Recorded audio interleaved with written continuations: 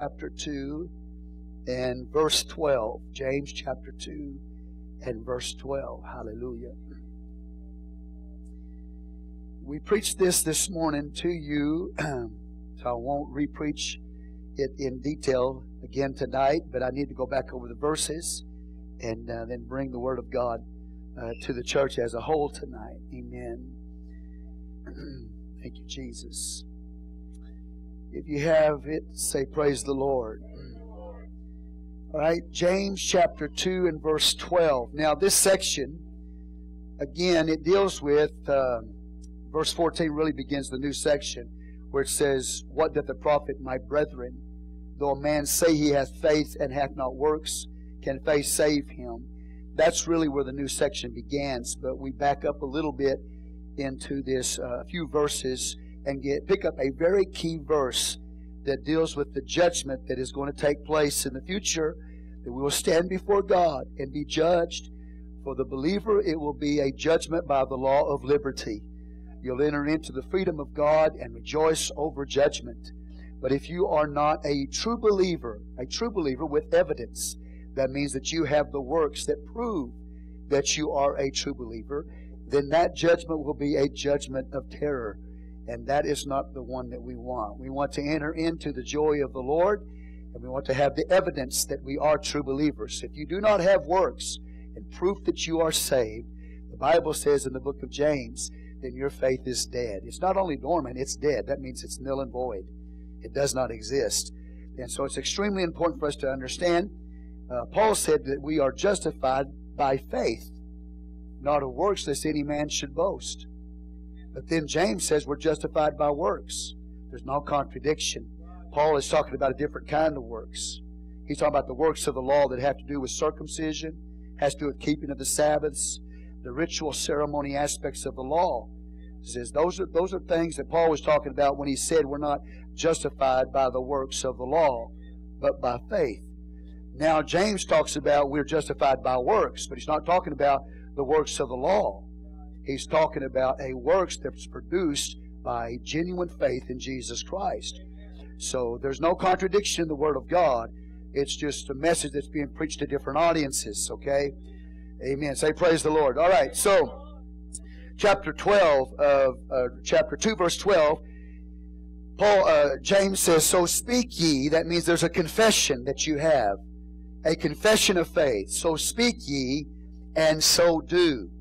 Don't just have a confession of faith and not be a doer of that faith. He said you have to have the confession of the faith, but also you have to be practicing it. You have to be doing that. Amen. And so, verse 13 For he shall have judgment without mercy, that hath showed no mercy, and mercy rejoiceth against judgment. That's that ultimate day of judgment. Amen. Verse 14 What doth it profit, my brethren, though a man say, see, this is a profession of faith. He hath faith and have not works. Can faith save him? The answer is no. So, as I said this morning, you can be going to church for years and years and years and profess or confess that you are a believer, but you're not. Now, how horrible that would be to go to church for years and years and years and find out that you only had a profession or a confession that you were a believer, but in reality, you were never saved. There has to be evidence of that, that faith. Amen? By a godly, holy life. And so then he talks about, he gives us a parable here, an example. If a brother or sister be naked and destitute of daily food, what are you saying to them? Depart in peace, be ye warmed and filled, notwithstanding you give them not those things which are needful to the body, what doth it profit? You got you make the confession. You look at the person and say, "Well, uh, you know, I'm, I'm hoping the best for you. You know, uh, depart, be warm, be filled, but you don't do anything about it. Well, that's not helping anybody. There's no profit for the person in that day, and there's no profit for you in judgment, in the de- in the day of judgment. Okay, Amen. Because you just have a profession that you're a believer. So, verse 17, even so, faith, if it hath not works, is dead being alone. Now, notice it doesn't say faith is dormant, it says it's dead. If you don't have works, or the reality or the evidence that you're a true believer in your life, then that faith is just a profession. It's dead. It doesn't exist. Amen. Verse 18 Yea, a man may say, Thou hast faith, and I have works. Show me thy faith without thy works. You can't do it because faith is invisible without works. James says, I will show thee my faith by my works. I'll make the invisible visible by the evidence or the works or the deeds in my life. Amen. That's the only way you can make faith visible, is by living it. Verse 19, Thou believest that there is one God, thou doest well. The devils also believe and tremble. Notice, the devil's doctrine's correct. Amen? They have a statement, and that statement is they believe that there's one God. He said, You believe in one God, you're doing well. So you can be doctrinally correct. And notice also the Bible says they tremble. They tremble. So there's a response to that. But they're not saved. So this teaches us you can be doctrinally correct. You can have a, a statement of faith and it be correct theologically, but you can still be lost. Because the devil believes in one God. And he trembles at that. There's even a response from the devil to that truth. Amen. Amen. All right, let's keep going. Verse 20. Wilt thou know, O vain man? That means you're empty headed.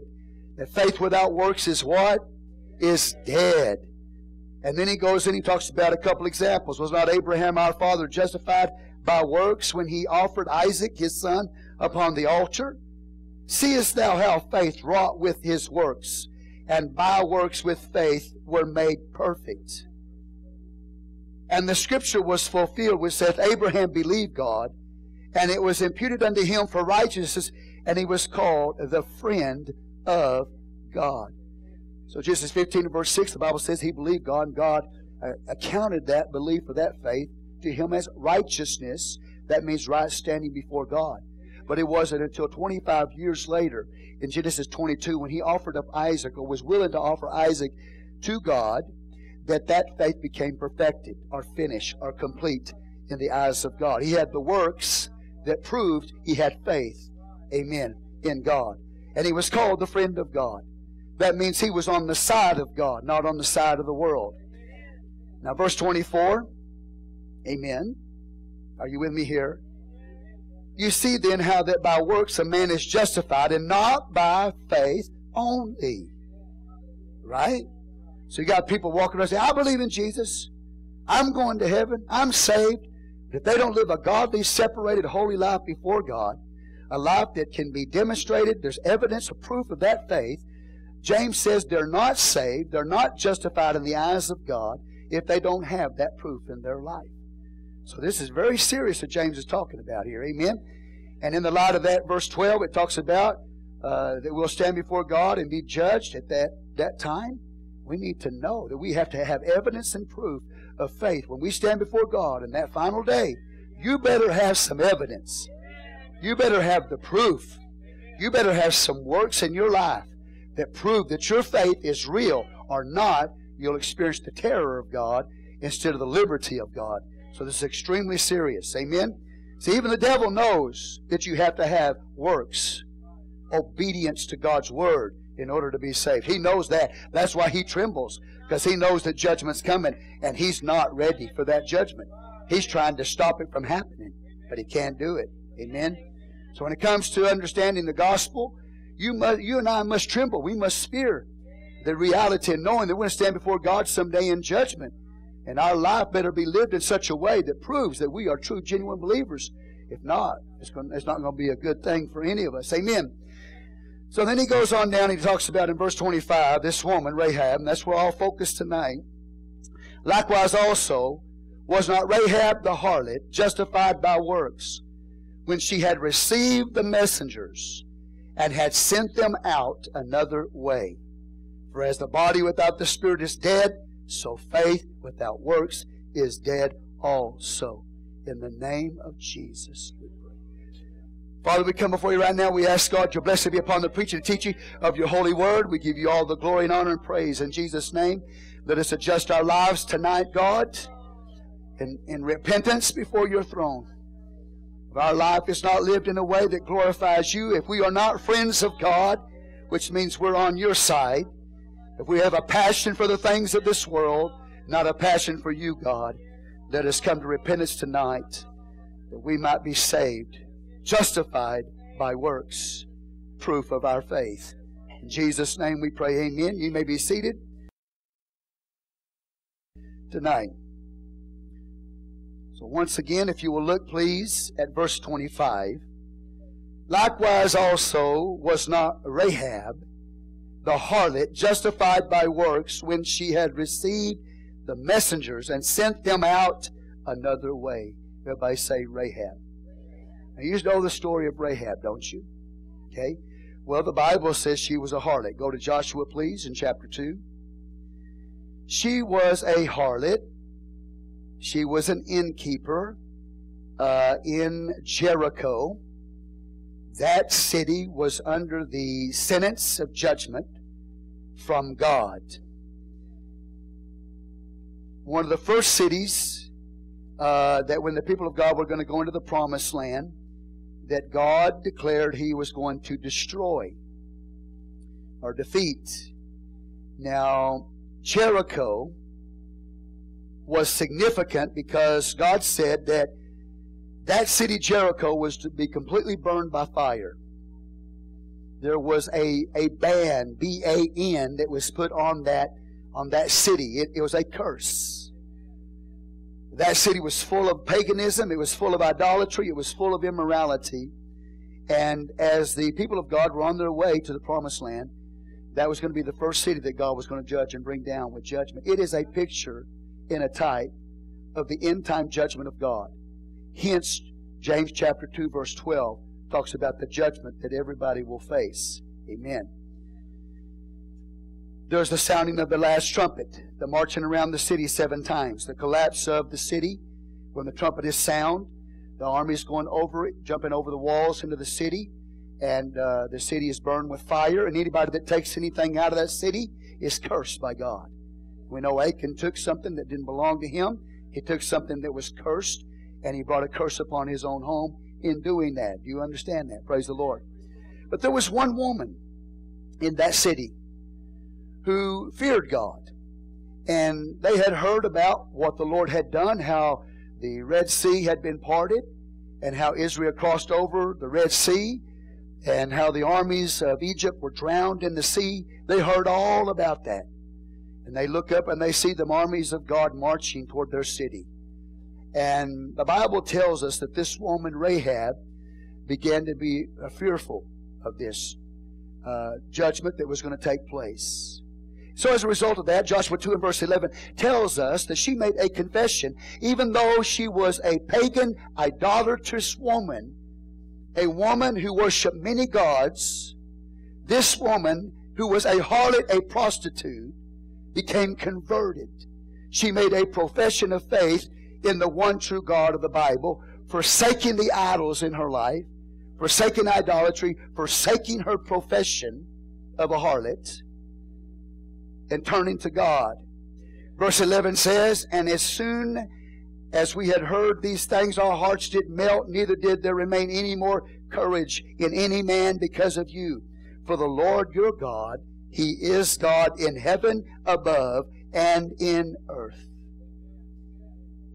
Now therefore I pray you swear unto me by the Lord, since I have showed you kindness, that you will also show kindness unto my father's house, and give me a true token, and that you will save alive my father, my mother, my brethren, my sisters, and all that they have, and deliver our lives from death. And the men answered her, Our life for yours, if you utter not this our business. And it shall be, when the Lord hath given us the land, that we will deal kindly and truly with thee. And she let them down by a cord through the window, for her house was upon the top wall, and she dwelt upon the wall. Amen? Now you know the story. The two spies told her to hang out the, the scarlet cord at her window. And if she hung, hung out that scarlet cord, which speaks of the blood of Jesus Christ, that scarlet cord was connected with the Passover lamb. And when they saw that scarlet cord, that that blood, if you would, typically would save her from that judgment to come. Amen. So this harlot escaped because of her faith in the one God of the Bible, her faith in the blood, she got out of that city before that city was destroyed. Amen. Now, she did all this by faith. I told them this morning that I believe the reason why God put her next to Abraham in this story in the book of James is significant. Because in the light of verse 12, where we will all stand before God on Judgment Day, what kind of judgment will it be? Will it be a judgment uh, uh, of terror or will it be a judgment of liberty that brings salvation? And when I look at this, the Bible talks about this woman, Rahab. James is not embarrassed to call her a prostitute or a harlot because that's what she was. Now, she did not stay that way. There's no harlot, no prostitute going to be in heaven. It's not going to happen. It's not going to happen. Only people that repent of their harlotries and repent of the prostitution that's in their life. Do you understand that tonight? So she did all of that. And so James picked her out. And he said, he didn't say just Rahab, he said the harlot. That means she escaped out of her harlotries and became a true servant of Jesus Christ, believed in the one true God of the Bible, and then proved it by her actions by hiding two spies in her house, which could have brought death to her. She risked her life. So she had proof, she had works, and she had evidence that she put her faith in the true God of the Bible. She didn't just acknowledge Him as Savior, she acted on Him as Savior with proof and works and evidence. That means that her life was set apart unto God. Amen. So tonight I'm going to talk to you about another harlot. She's also called Rahab. And this Rahab I'll be preaching to you tonight about is not the Rahab of Joshua chapter 2. The Rahab of Joshua chapter 2, a once pagan idolater who escaped the punishment, the judgments of God because she put her faith in the one God of the Bible. She hung out the scarlet cord, putting her faith in the blood of Jesus Christ.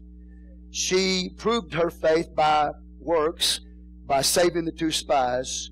So she came out of that harlot system and she was delivered and saved in the time of judgment.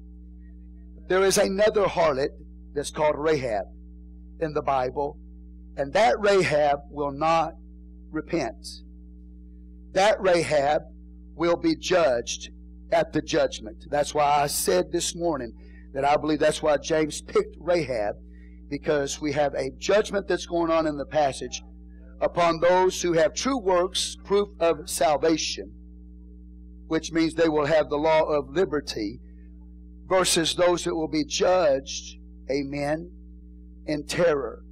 So we have Rahab, the one that was saved out of the harlot system, and then we've got another Rahab that doesn't repent, that will be judged in the end times, just like the city of Jericho was judged. Okay, you with me here? All right, say praise the Lord. So, so to begin with tonight, I want to emphasize to you once again that if you and I live a life which is given to filth, if we live a life of ungodliness and unholiness, we give ourselves to music that is ungodly and unholy. We give ourselves to watching television and movies that are ungodly and unholy. How can we say that we are saved? Because that's not the works of a true believer. The works of a true believer is not going to sit down and, and let their hearts and their minds be filled with filth. Movies, television, music, video games, magazines, books that you read, whatever. True believers cannot do that and say they're going to heaven. Because now, if we do that, we're no longer a friend of God. We are a friend of this world. Abraham was a friend of God. Amen. So, not only what we allow ourselves to watch, listen to, what we allow ourselves to read, but the way that we dress outwardly. Amen. Either we're dressing modestly or we're dressing like, or immodest, like a harlot we're dressing like a bride or we're dressing like a whore. Amen. If you're dressing like a harlot, you're not going to go to heaven. You understand what I'm telling you? So I want to begin today to emphasize these things to us because I think that we put so much focus on the grace of God that we think the grace of God is just going to cover all this stupidity that we do. Oh, no, no, no, no. God calls us to live a holy and godly life, and He says if you're a true believer, you're going to have the works, you're going to have the evidence, you're going to have the faith that you are a true believer. And if you're a true believer, you're going to be like Abraham. That means you're a friend of God. You're not a friend to the world.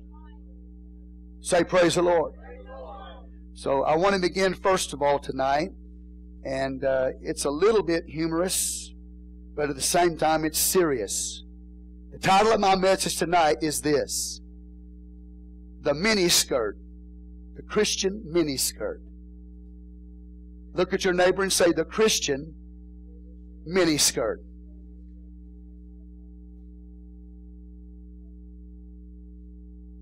Okay? Now, when I said that, the Christian miniskirt, you know, it don't go together, does it? See, common sense tells you that it doesn't go together. Right? If you claim to be a Christian, wear a miniskirt, doesn't go together, does it? But I'm going to read this little little story to you, and the title of it is "The Miniskirt." It's by Don W. Hillis, H I L L I S, Don Hillis. Okay, the miniskirt, and uh, I'm going to have to pick up part of it from my phone to finish it, but I will read it to you, and I want you to listen to this story about the miniskirt. Okay? I want to make it clear that I am a Christian miniskirt. Not me. This is what the story Now, before I get into this, I need to tell the sisters of the Lord in this church, I appreciate you. Appreciate your modesty and your godliness before God. But if any be tempted, I want to make it clear that I am a Christian miniskirt. That is, I go to church every Sunday. What's more, I attend in an evangelical church. Of course, I am not the only Christian miniskirt in town. There are many others who go to my church. Though we represent a variety of colors and patterns, there is one thing we all have in common. We all have a way of revealing attractive thighs, especially when the legs are crossed. They tell me that that's the most comfortable way to sit. Unless I am misreading the situation, we seem to make our wearer a bit self conscious. At least the girl who wears me is always tugging at my hem. Though I am not an expert on human nature, this appears to indicate some kind of complex. I have also noted that we miniskirts have the ability to attract a good deal of masculine attention, even in church. At first, I took pride in the fact that men were fascinated by my pattern and color design. However, just this morning, I heard the preacher say that this was not really what the young men and some not so young were looking at. Though I was all ears when he started to preach the appeal of the miniskirt, I was embarrassed before he was through. He claimed that the miniskirt does not appeal to the aesthetic. According to him, there are dozens of other dresses more beautiful than I am.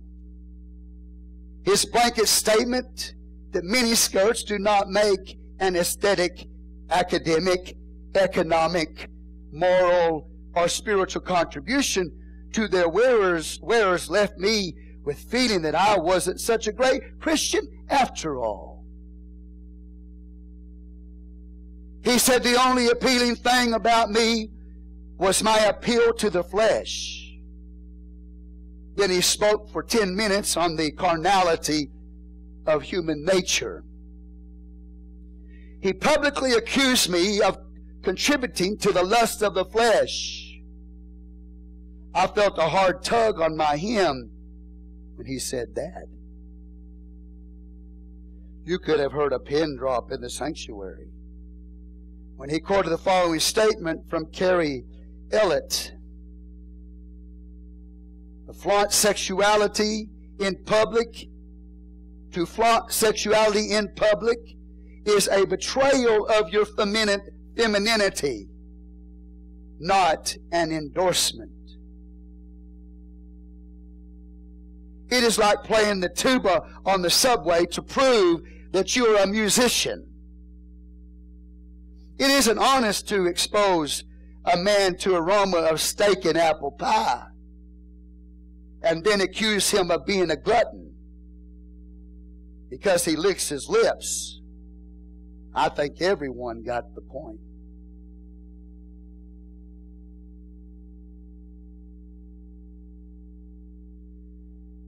I really blushed when he began asking questions about what we miniskirts did when we were out in the workday world.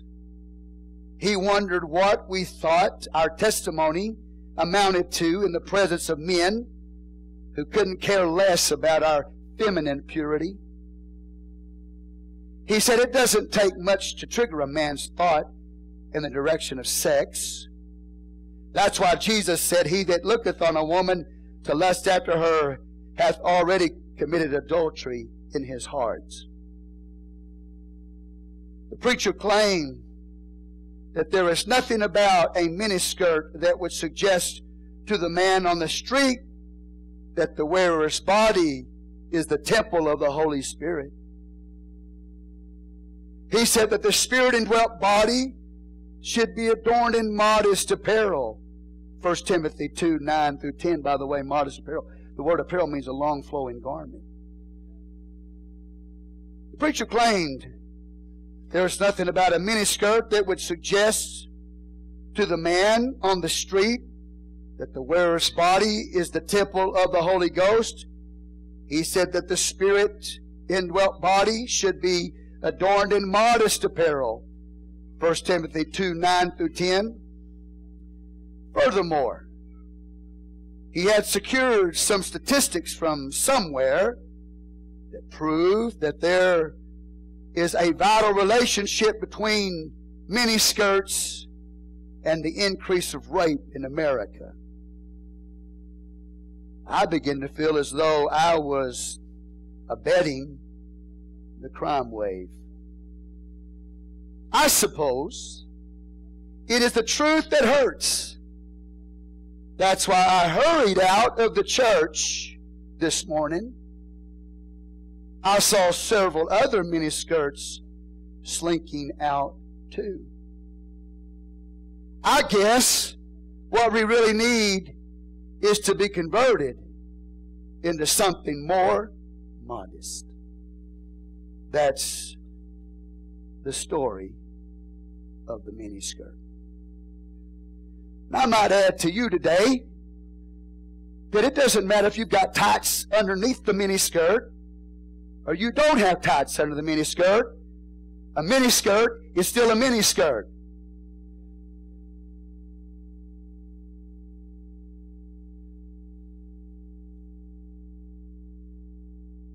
How can we, as a people,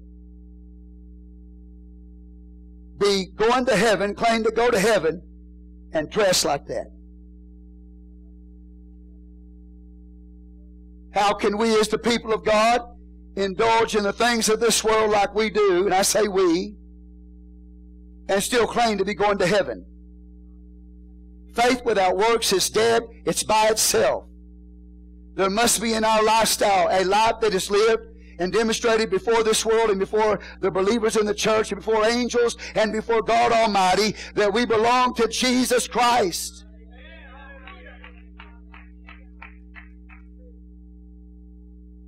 And if it's bad to be wearing a miniskirt, it's much worse for you to be involved in sexual immorality. God have mercy on your soul.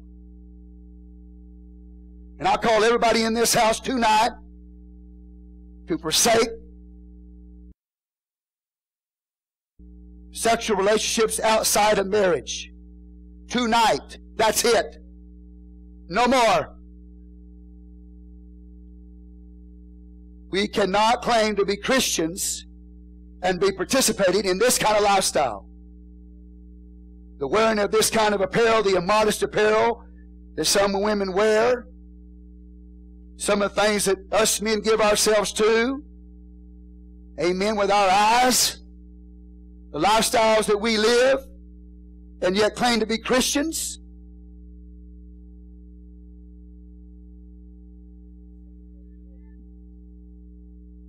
To be a part of that harlot system right there.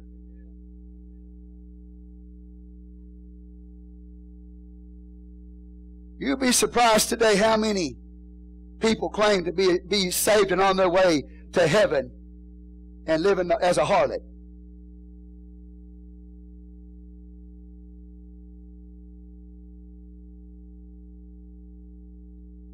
I tell you what awaits us. If we don't get it right in our life, what awaits us is a time when we'll stand before God empty handed.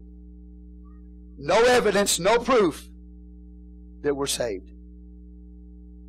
No evidence, no proof that we are a friend of God. I ask you tonight, do you have more evidence in your life that you're a friend of the world, then you have evidence tonight that you're a friend of God.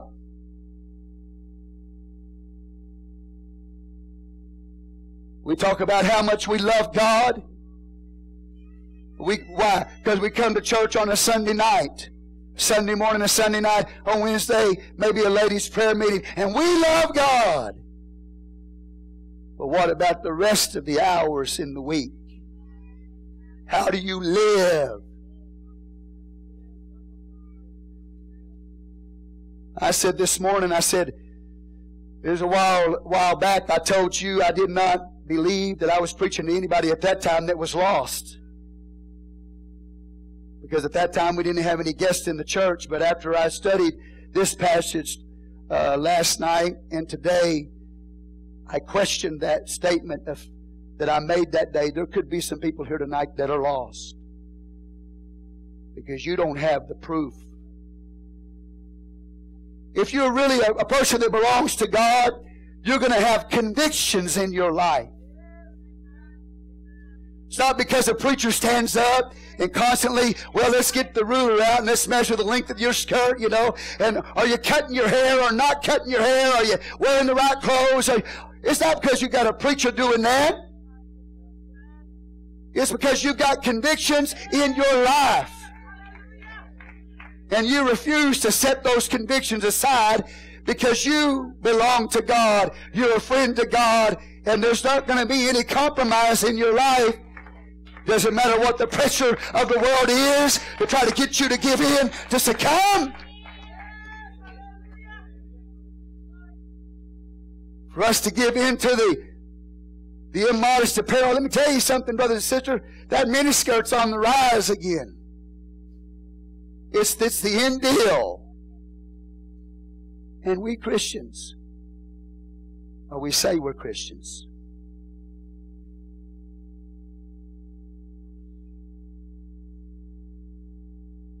Let me tell you something, brothers and sisters. In my studies in my home, I have read about men who walk very closely to God that didn't have the truth that you've got and the truth that I've got. And one man, Kierkegaard, one man, I believe his name is Kierkegaard. I believe I'm putting the right uh, statement to the right person. Kierkegaard talked about the importance of, of living, living for the Lord and the emotions of the believer, things like that. And when people went up and tried to t- call him a Christian, he said, Don't call me a Christian. He said there's only one Christian.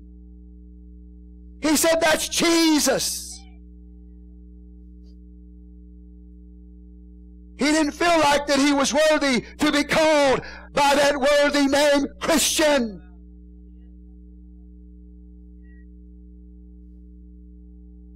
What about us? Christianos in the Greek, Christianos means the slaves of Christ. Can we truly wear that name, Christianos, Christian, the slaves of Christ? No, I don't think so. If we're slaves to this world, you're a slave to this world. If you dress, if you wear the things of this world, if you give your heart to the thing, the entertainment of this world. And I'm not exempt. I'm preaching to myself tonight. But how can we sit down and indulge our minds day after day after day with the ungodly entertainment from carnal minds? Feed on that trash and yet come to church. I love you, Jesus.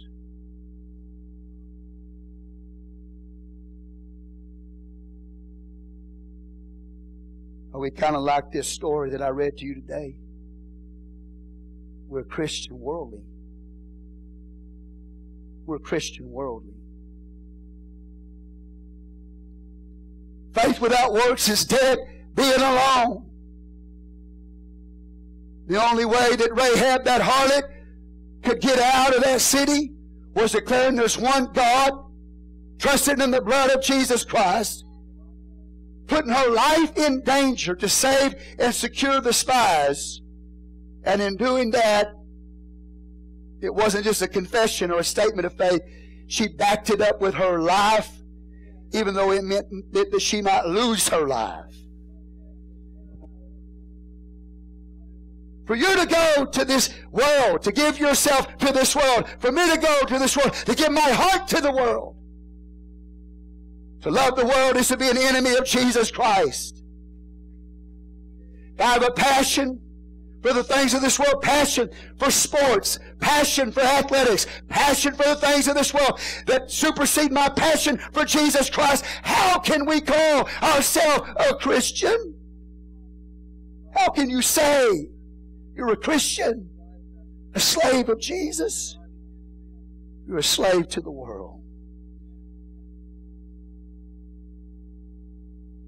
One that we have in our life is that we're not a friend of God. We're a friend of the world. Because if you're a friend of God, that means you're like Abraham, you're on God's side. Isaiah 41. The prophet Isaiah called Abraham, he was a friend of God. He walked with God.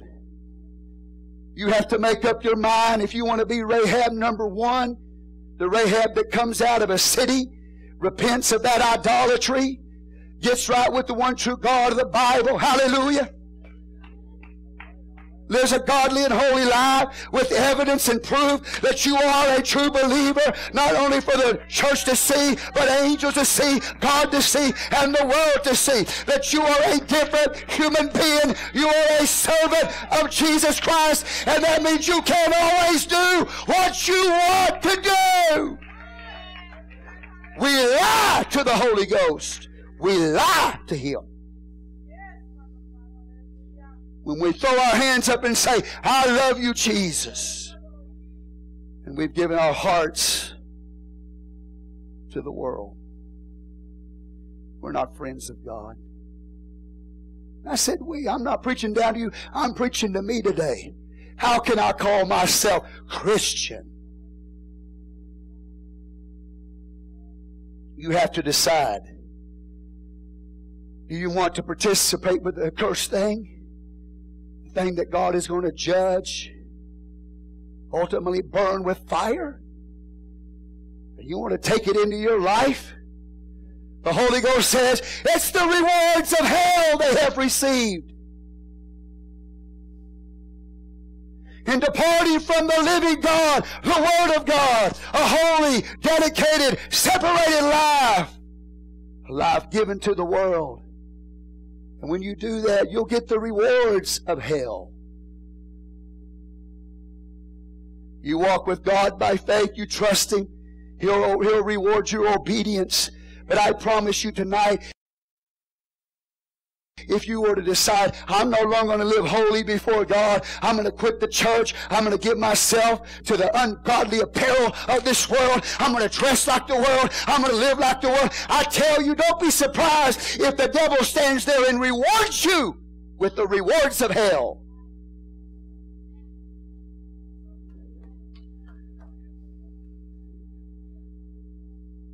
We need to get right with the Lord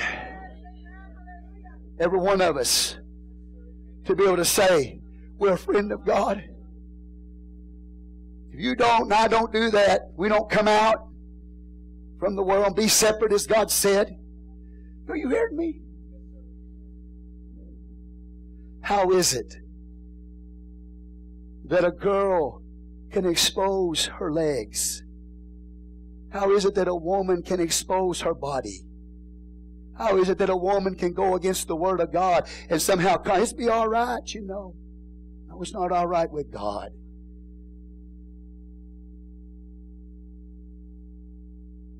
The second Rahab tonight that is not going to be saved is found in Isaiah, the 30th chapter.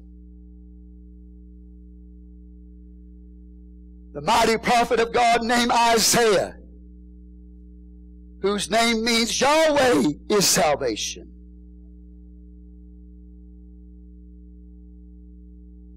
In Isaiah 30, that prophet of God said this. He said, Woe to the rebellious children, saith the Lord, that take counsel, but not of me. See, they get all, they go to every counselor in the world. But they won't listen to God.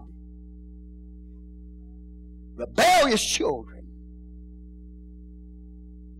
Take counsel, but my, they don't take my counsel. That cover with a covering, but not my spirit, that they may add sin to sin. That walk to go down into Egypt, go into the world supposed to be the people of God. Going down to Egypt, going to the world.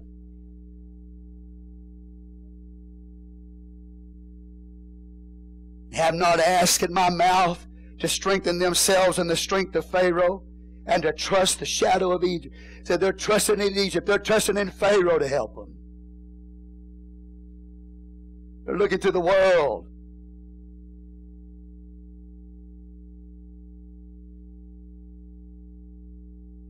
This morning, as I said, you don't have to be concerned just about the worldly music or worldly movies, worldly television, worldly athletics. You don't have to be just concerned about that. Today, you've got to be concerned about the so called Christian music that you listen to because a lot of that Christian music is not theologically correct.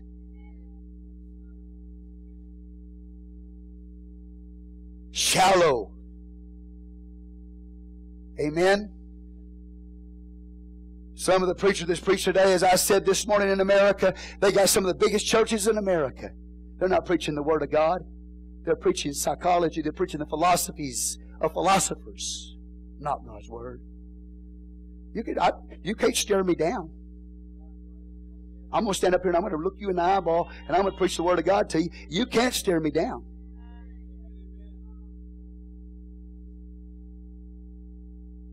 Going to after everything going after the world and saying, well, we want to make it, uh, uh, you know, appealing to the world. So we want, they know you are the world. I heard a man with Hillsong, the, the lead pastor of Hillsong, made a statement. They asked him about homosexuality. And he said, We will never be the kind of church that questions the person that's on the platform about their sexual orientation.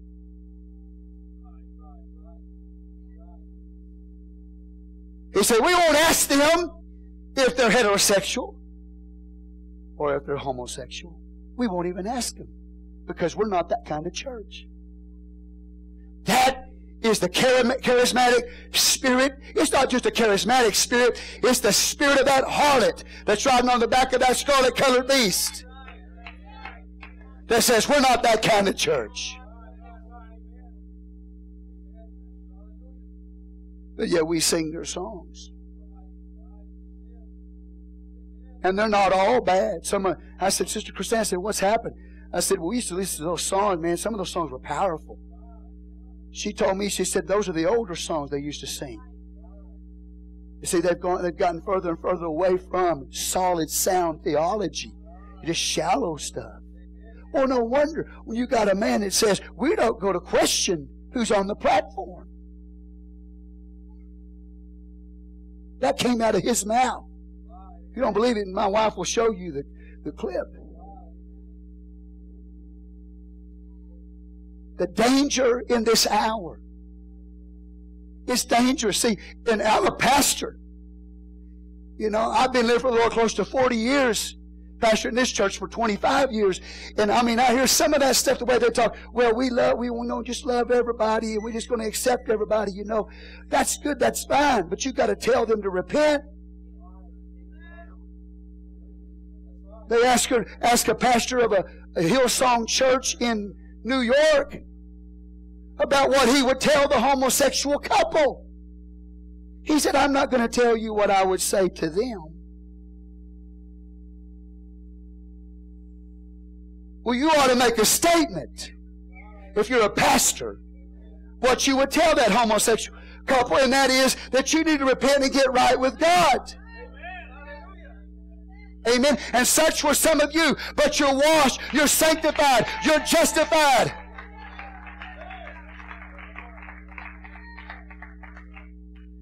by the name of God, by the Spirit and the name.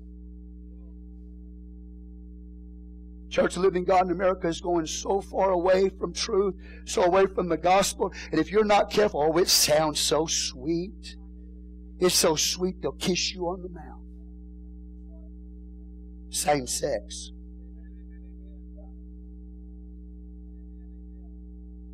And you know how I preach the gospel to you constantly. But it's time for me to stand up and to sound a trumpet in Zion, to sound a trumpet in this church. And I'm going to tell you again, we are not going down that charismatic road.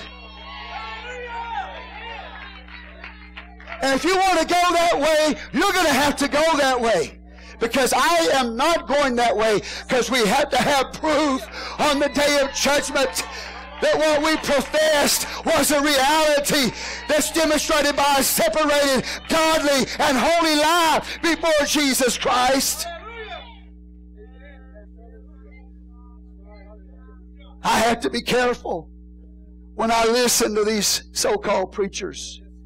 You have to be careful if you're going to college because those professors, friend, most of those professors, they're not believers. They are there to twist your mind, to make you carnal, to make you worldly. You better watch out.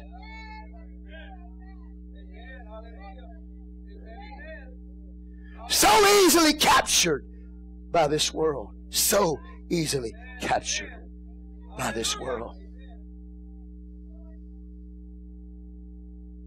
So are we the harlot? Rahab that escapes the polytheistic paganism, the idolatries of the world before it's judged? Are we the ones that put our trust in the blood, knowing, knowing our past life was like a harlot? But we put our trust in the blood of Jesus Christ. And we came out of that harlotry. We came out of that idolatry. We came out of that pagan culture and that pagan society. And we separated ourselves and became a part of the Israel of God.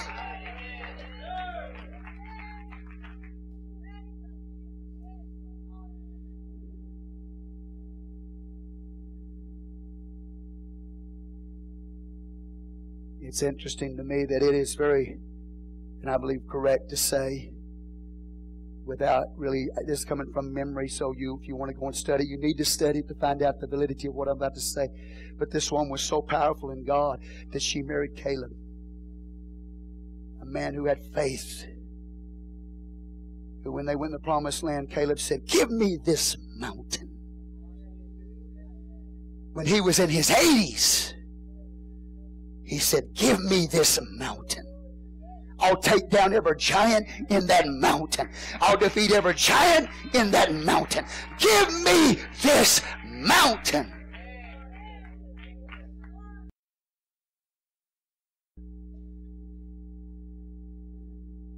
That man who almost 40 years before was one of the ones who entered the promised land and said, Let us go up at once and possess the land, for we are well able. But because of the congregation's unbelief in the Word of God, they had to wander for 38 more years. But later, now it's Caleb. He walks back in that land after having wandered with an unbelieving generation. Joshua and Caleb, are y'all with me? Only a couple out of all of the rest of them that died in the wilderness that he made it through that wandering with those, with that unbelieving generation. After about almost 40 years, old man in his 80s walks up and says, Give me that mountain. That mountain was full of giants, but he said, Give me that mountain.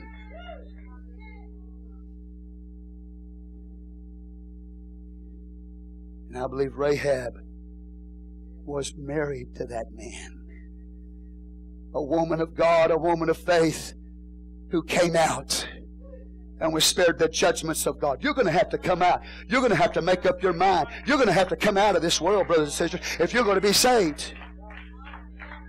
Say, praise God. Now, I'm not preaching for numbers. This isn't Hillsong.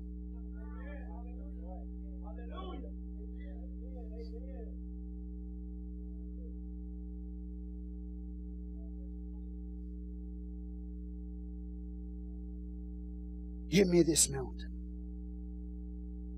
An unbelieving generation dies because they didn't believe in the Word of God. Not everyone that says to me, Lord, Lord, will enter into the kingdom of God, but he that doeth the will of my Father which is in heaven. You got to do His will. You can have the doctrine right, the confession right, you the statement right, that you believe in one God, you believe in New Testament. You can have that all right. But if you don't do His will, if you don't obey the truth, you're not going to be in heaven. Because the Lord will look at you say, Depart from me, ye that work iniquity, because I never knew you. Will we see you in heaven? Will you see me in heaven? It's a long journey. I don't know how much longer that I'll live, but I'm really not that old. If Jesus doesn't come back, you know, I mean, there's some, these years, man, that I'm looking at. Some of y'all are young. You got a long journey, a long walk to walk with God. You got to make up your mind. You're going to be a friend of God or you're going to be a friend of the world. You're going to get on God's side or you're going to get on the world's side. And if you're a parent to young ones, to teenagers that you have you're responsible for, you've got to look at them and you say, Oh no, not here, not in this house. You get old enough, you can do your thing, but not now. Well, explain to me, Mama. Explain to me, Daddy. Well, okay, I'll explain to you. The Bible says it. Good enough. End of story.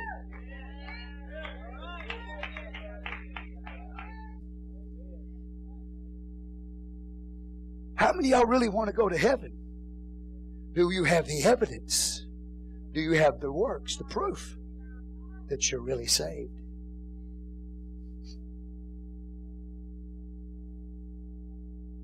They went to Egypt. They went to Pharaoh for help. Verse 4 For his princes were at Zoan, and his ambassadors came to Hanes they were all ashamed of a people that could not profit them, nor be a help, nor profit, but a shame and also a reproach. The burden of the beast of the south. The prophet says the burden of the beast of the south, that's Egypt. Egypt's a type of the world. Into the land of what? Into the land of what? Into the land of what? Into the land of what? Verse 6. Isaiah 30, into the land of what?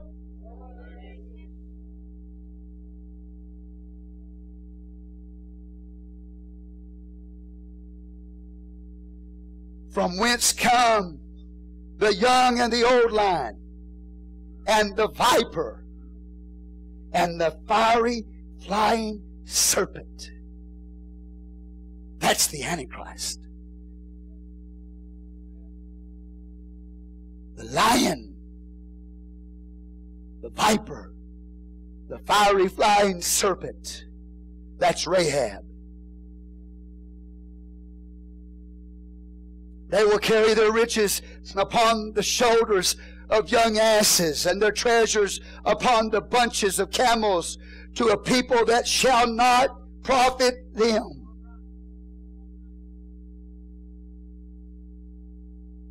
For the Egyptian shall help in vain and to no purpose.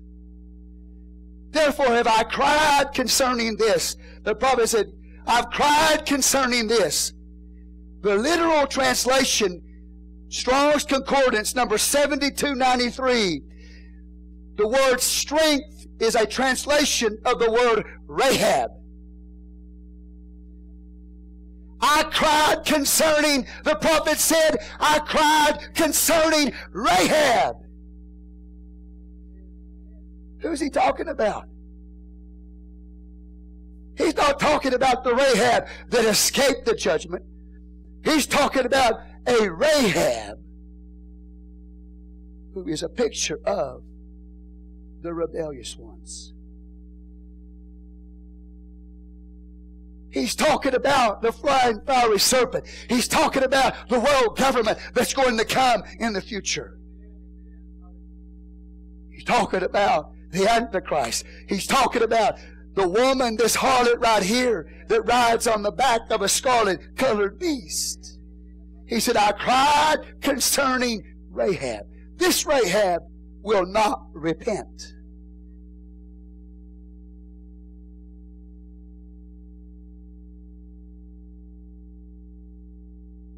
Their strength is to sit still.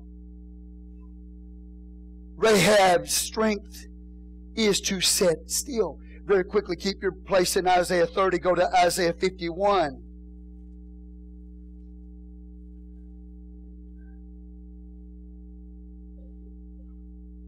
Verse 9, Isaiah 51 and 9. Awake, awake, put on strength, O arm of the Lord.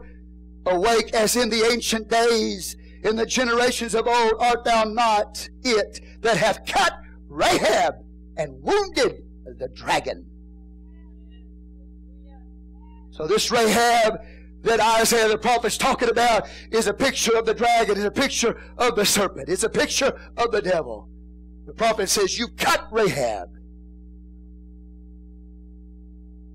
She's the harlot on the back of that beast.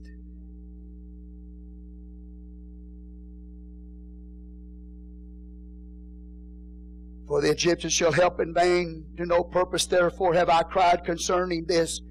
Their strength is to sit still. He said, You want to see a Rahab? A Rahab sit still. Rahab literally means, her name means broad. The reason why she was called a broad was because she was a prostitute. Now, the Rahab of Joshua chapter 2, she lived in the wall as a prostitute. She lived in a broad wall and she would seduce those people that were walking by to get them to join her in that prostitution. This Rahab, she escaped from that, but this Rahab, Rahab means broad. And the Bible says the way you can tell her is that she sits still. She doesn't move. She doesn't get up. She doesn't move. She doesn't aid. She doesn't help. She doesn't serve. She sits still. There's no movement of God in her life. She has come under the spell of a spirit. You come under the powers of the darkness of this world, the spells of that harlot, and you'll become immovable.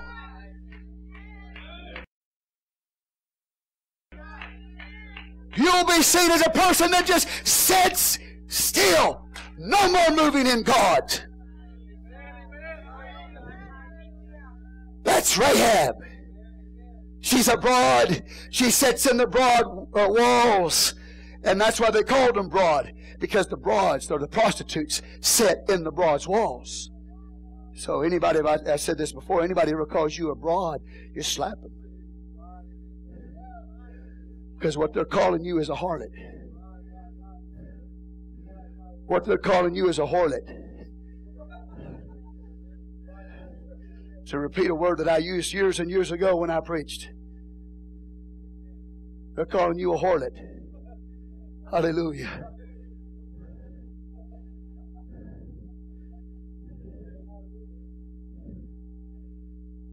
No! I'm a part of the bride of Christ now by the blood of Jesus Christ. I'm in the genealogy of Jesus Christ by the blood of the Lamb. I've been redeemed by the blood of the Lamb. I've come out of that wall. I'm no longer to sit still.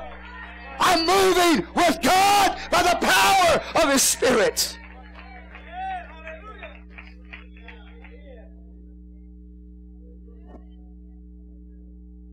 You go through the Word of God, you'll see Rahab is used. This Rahab is used for this, the term for the serpent. You get time, and I don't have time to read all these verses. Ezekiel chapter 29, Ezekiel chapter 32, Job chapter 9, Job chapter 41, I believe it's verse 34 says that uh, this Leviathan, this serpent, is over the children of pride. Ezekiel 29, Ezekiel 32, Job 9, Job 41. Read those chapters about Leviathan. Because that's who Rahab is. Read Psalm 74, and it talks about this sea monster in the sea. That's the seven headed dragon. That's Rahab. Egypt was called Rahab in the Old Testament. The picture of world government to come. Read Psalm 87 and verse 14, and the term Rahab is used again. Give God praise. So God sends the prophet Isaiah, and he stands up there and he begins to cry concerning Rahab, the harlot, the serpent, represents pride, represents the prostitute, represents the broad or the protection of the world. No longer moving in the Spirit of God. That woman on the back of that beast, that world government, and that woman is what the prophet's crying against. In the name of Jesus.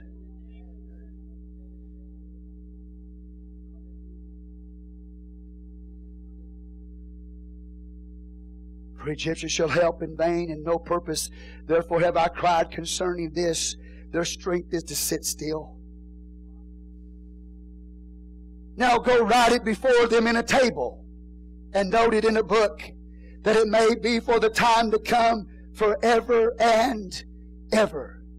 He said, when it, the time to come is a term when you look it up and you study it in detail, he's talking about the end times.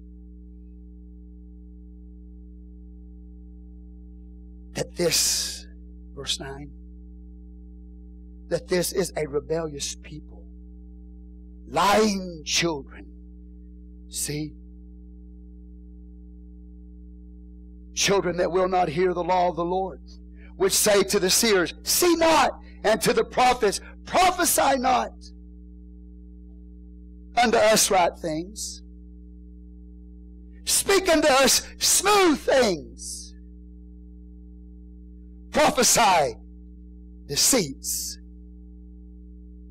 Get you out of the way. Turn aside out of the path. Cause the Holy One of Israel to cease from before us. These are people who are, have itching ears. They're looking for preachers to preach to them things that are going to make them feel good. That's why they'll quit this church and go somewhere else. I declare you by the word of God, these people have backslid against God. They backslid against the word of God.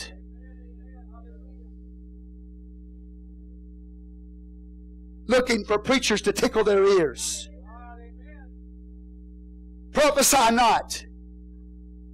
Preach to us smooth things. Tell us what we want to hear. Tell us it's okay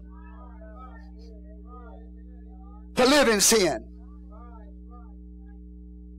Tell us, tell us it's okay to dress like we wanted to. Tell them, tell us it's okay to watch what we want to watch. Tell us it's okay to listen to music we want to listen to. Tell us it's okay. Tell us homosexuality is not that bad. Tell us that nobody's going to die and go to hell for that. Tell us what we want to hear.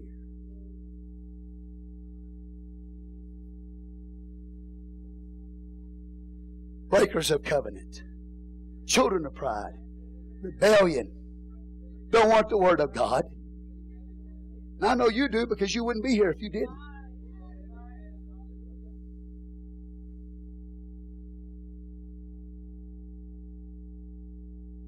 Get you out of the way, turn aside out of the path, cause the Holy One of Israel to cease from before us. Don't talk to us about holiness. Holy One. No, talk to us about love.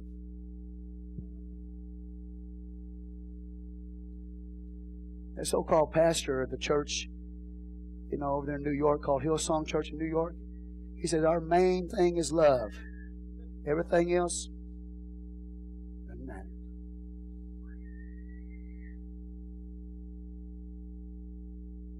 misleading literally thousands of people straight to hell. Come on, somebody. Now, if, if you say, well, I don't believe that, that people leave this church backslide, then their holiness should increase. It should grow, not decrease. If they didn't backslide, they should be more godly. If they did it for good, they should be more godly. Their spirit should be not of rebellion, but of submission to the Word of God. If they were really doing the will of God, it should increase their holiness before God. And if it didn't, they are Rahab. Rahab.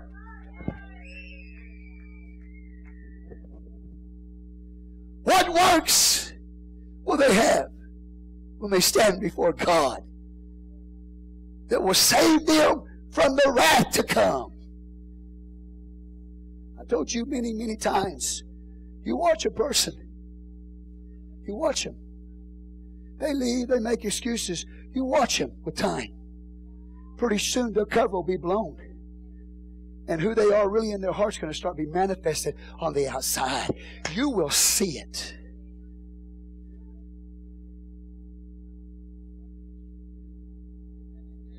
I'm very bold before you because I don't want you to walk down that path.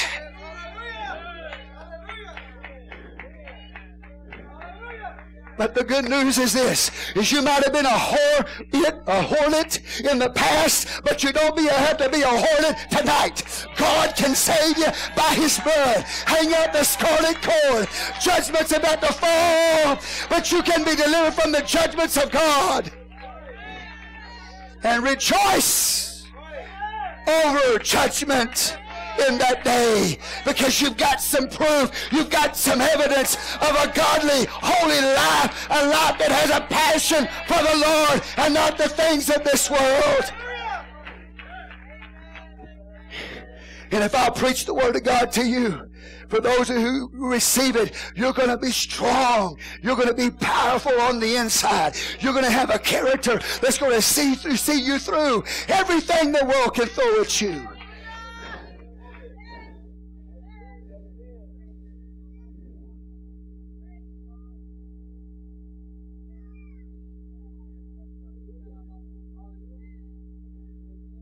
Wherefore, thus saith the Holy One of Israel because you despise this word and trust in oppression and perversion and stay therein. Therefore, this iniquity shall be to you as a breach ready to fall, swelling out in how in a high what? High wall, whose breaking cometh suddenly at an instant. He shall break it as the breaker of the potter's vessel that is broken in pieces, he shall not spare, so that there shall not be found in the bruising of it assured to take fire from the earth or to take water without a pit. Thus saith the Lord God, the Holy One of Israel, in returning and rest shall you be saved. Get back to God. Return back to God. If you'll get back to God, return back to God. He said, You'll be saved. You'll find rest. And quietness and confidence shall be your strength. The sad thing is that they wouldn't, but I believe you will. I'm, I made up my mind I'm going to. I'm te- what I what I studied last night got a hold of this preacher's heart. Hallelujah. And I don't want you to here to have a confession of faith. I want to put into action what I'm preaching to you tonight. I want to make some changes in my life that are necessary. Praise the Lord God. I want to clean it up. I want to get right before my God.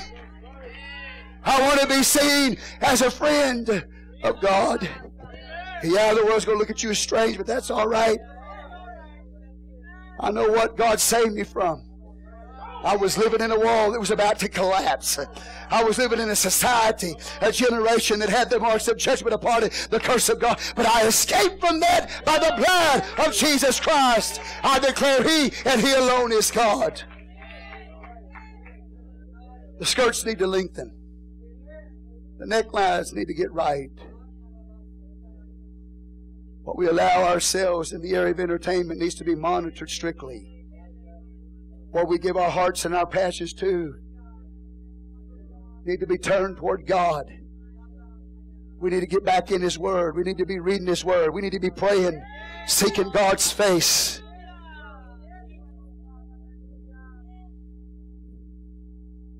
How close are we to the coming judgment of God? Get back to God. Get back to God. Isaiah 51 in closing tonight. It's not time to sit still on the broad wall. It's time to have works to prove our faith. 51. And I'll start with verse 4 in closing. Hearken unto me, my people, and give unto me, give ear unto me, O my nation, for a law shall proceed from me, and I will make my judgment to rest for a light of the people. My righteousness is near, my salvation is gone forth, and mine arm shall judge the people. The isles shall wait upon me, and on my arm shall they trust. See, this is the judgment. This is a good kind of judgment. God said, I'm coming, I'm going to judge the enemy. I'm going to judge the enemy. And when I bring judgment, that means I'm going to liberate my people. The judgment for my people is a freedom, is a judgment that brings freedom to their life. If God, if Jesus needs to walk in this service tonight in this church and bring judgments against what is an enemy to Him and this word, this gospel in our life, Thank God for it because it's setting me free from the powers of sin. It's setting you free from the powers of darkness. That let that judgment come, let that judge come because it'll liberate you and deliver you. True people of faith it's a good thing. But on those that are the enemy terror, lift up your eyes to the heavens and look upon the earth beneath them, for the heavens shall vanish away like smoke. The earth shall wax old like a garment. They that dwell in there, therein shall die like manner. But my salvation shall be forever and my righteousness shall not be abolished. Hearken unto me, ye that know righteousness. The people in whose heart is my law. Fear ye not the reproach of men, neither be ye afraid of their revilings. For the moth shall eat them up like a garment, and the worm shall eat them like wool.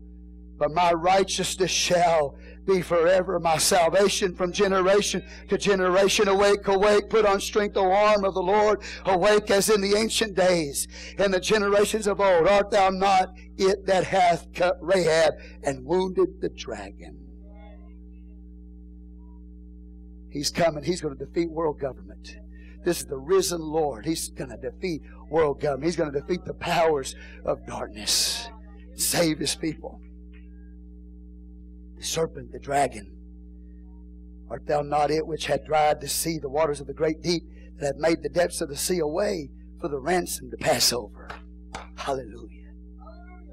Therefore the redeemed of the Lord shall return and come with singing unto Zion, and everlasting joy shall be upon their head. They shall obtain gladness and joy, and sorrow and mourning shall flee away. Why? Because his kingdom is established. I, even I am he that comforteth you.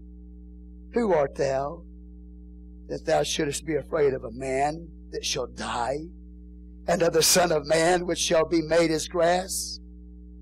and forgettest the Lord thy Maker that has stretched forth the heavens and laid the foundation of the earth and has feared continually every day because of the fury of the oppressor, if he were ready to destroy, and where is the fury of the oppressor? The captive exile hasteth that he may be loosed, that he should not die in the pit, nor that his bread should fail. But I am the Lord thy God that divideth the sea, whose waves roared. The Lord of hosts is his name.